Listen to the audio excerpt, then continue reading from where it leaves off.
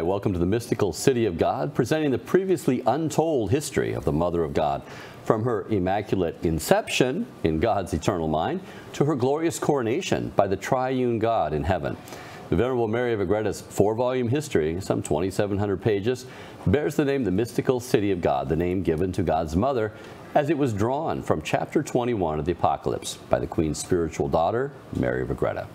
Last week we delved into how the Queen of the Apostles aided in penning the Apostles' Creed and her prayerful assistance in sending forth the 12 apostles to evangelize what was then the known world. Staying with Mary's role in assisting the infant church this week, we look at how Mary, Mother of the Church, appeared not once but twice in Spain to save her devotee, St. James the Greater, from certain death. If you're a premium member, you'll get the full account of what the Blessed Mother did for this apostle and how she paved the way for future apparitions, particularly among the Spanish people. These extended versions are a way of thanking you for your financial support in producing spiritual content. So thank you very much. And if you happen to be watching the shorter version for free on YouTube, please hit that like and subscribe button and consider becoming a premium member for just $10 a month. With us, Church Militant's managing editor, the one, the only, Rodney Pelletier. so, Rodney, last week we were going into, uh, you know, the partitioning of the, of the apostles, sending them all out, how the Blessed Mother was uh, a key in that and spirit, spiritual uh, assistance there. But what really hit me was Peter's role, the prominent role. I mean, he's illuminated at the council, and the Holy Spirit's thundering, say, listen to St. Peter, and after he spoke, the you know the Shekinah's coming down and all that. Really amazing at that. Uh, yeah, it's it's amazing. It really served to reinforce uh, God's authority through his vicar, the Pope, and all the subsequent popes afterwards. I can really see how all the popes, you know, would be defending this. Like, yeah, yeah, that's that's uh, that's straight stuff right there. Listen to the Pope. Now, before we get into, we're going to talk about the Blessed Mother, and she's carried on the clouds, and all this by angels, and all this type of stuff. I can see a lot of people out there like, dude, man, I never heard any of that. Okay, mm -hmm. this doesn't even exist, right? I don't believe it. Some, well, or maybe a pious, uh, pious, pious, you know, whatever. If you yeah. want to think about it. all that angels carrying people around stuff. Okay, let's look to Daniel 14. This is just one instance in the Bible.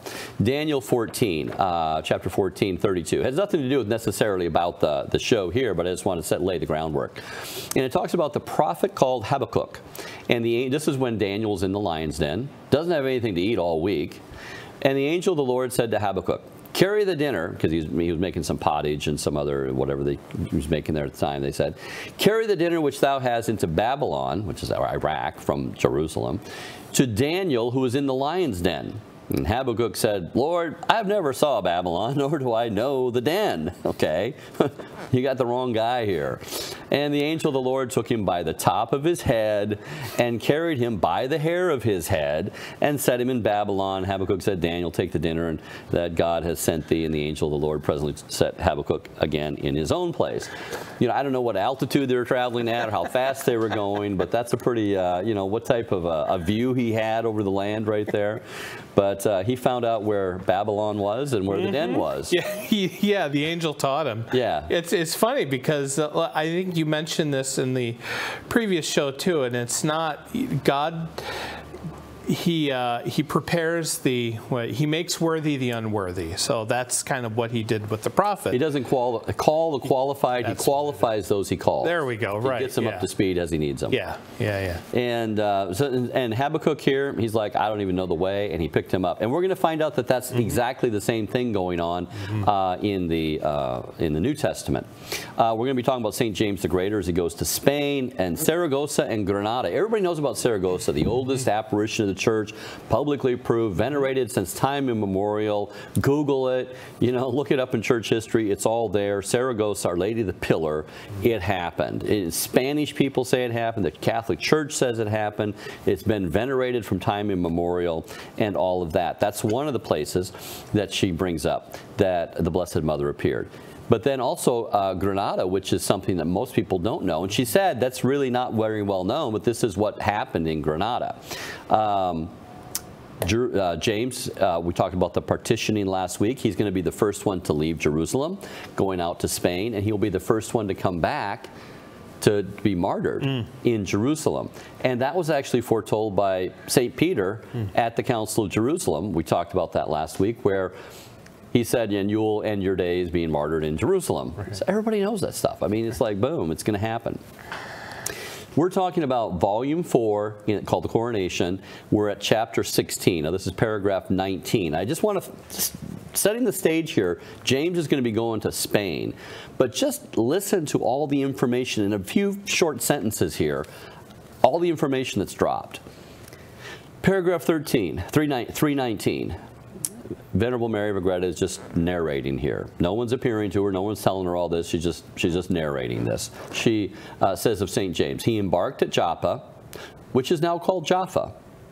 In I think Haifa now in the mm. modern, but in 1600s it was Jaffa. In the year 35, in the month of August, so 35 would be 35 years after our Lord was born in the month of August called Sextilis. And I'm like, Sextilis? I haven't heard that before. That'll be a little note there for me to fact check, look up. One year and five months after the Passion of the Lord. So it's 35 years after he was born, one month, uh, one year and five months after he died. Eight months after the martyrdom of Saint Stephen. So Saint Stephen, uh, if you take one year and five months and, and, and knock off eight months, you'll get the, how long was Stephen after our Lord died, that he died. And five months before the conversion of Saint Paul. So we know St. Paul happened after St. Stephen. Mm-hmm. So uh, next week we'd like to work out some of these numbers for you and do some of the dates. Um, that'll be the last uh, the leg of, of, of, our of our show here, the last three uh, three three weeks of it. But a note here, just in fact checking, one little fact: Sextilis. Well, it comes to find out if you Google this, like I did, because uh, I wasn't taught this in school. I don't think she was either. Um, in the 8th century, 8th BC, it began to be called uh, uh, August because of the Caesar Augustus, mm. okay? Prior to that, it was called Sextilis.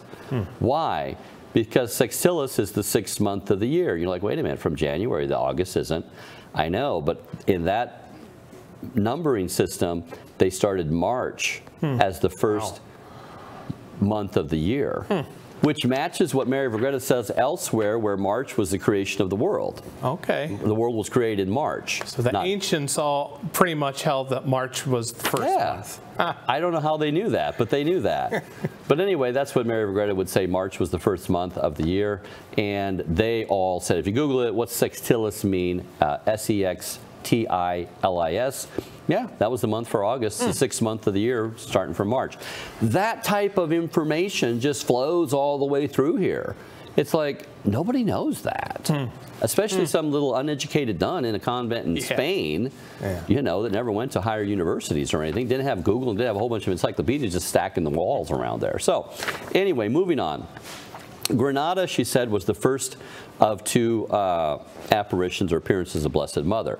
These weren't apparitions like uh, spiritual, like I'm um, just you know a ghost appearing mm -hmm. to you, and they weren't by location, uh, and they weren't coming from Ephesus.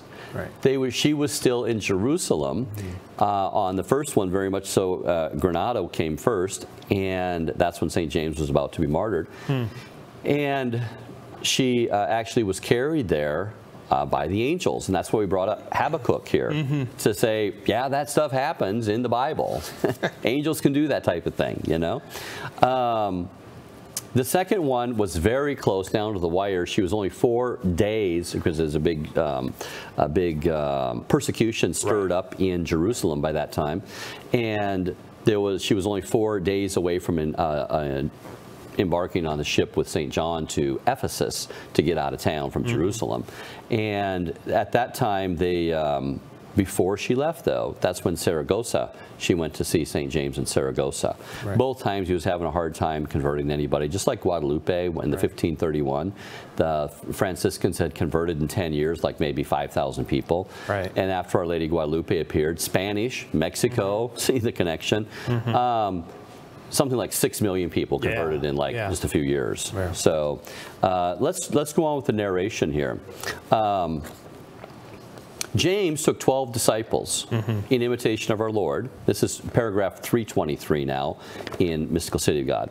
Uh, and the Jews were all bad-mouthing these guys. The Jews proclaimed him, St. James, as an adventurer, deceiver, the author of false sects, and an enchanter.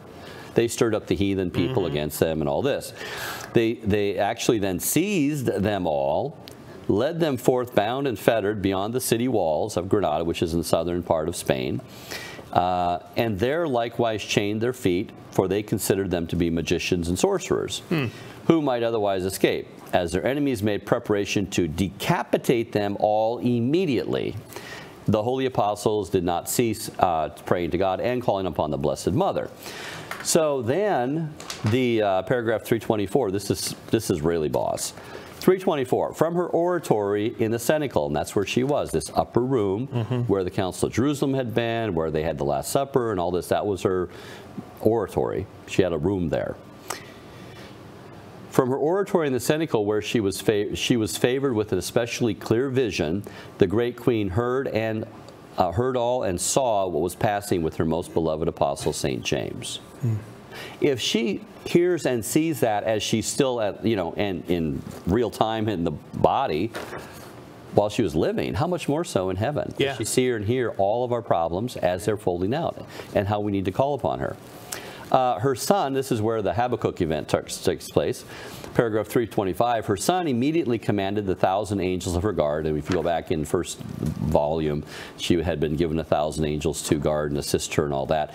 They all manifested themselves to her in human shape told her what the most high had commanded. Without delay they placed her upon a throne made a beautiful cloud of a beautiful cloud and carried her to the field in spain where st james and his companions were awaiting martyrdom in their fetters. They were all chained hand and feet their enemies had already bared their scimitars or swords to strike off their heads.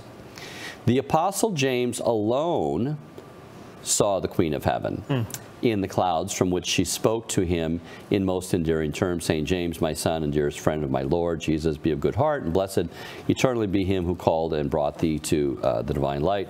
Rise then, faithful servant of the Most High, and, and be free of the bonds. And about that, words, the powerful queen, the fetters of the uh, his, uh, disciples instantly fell.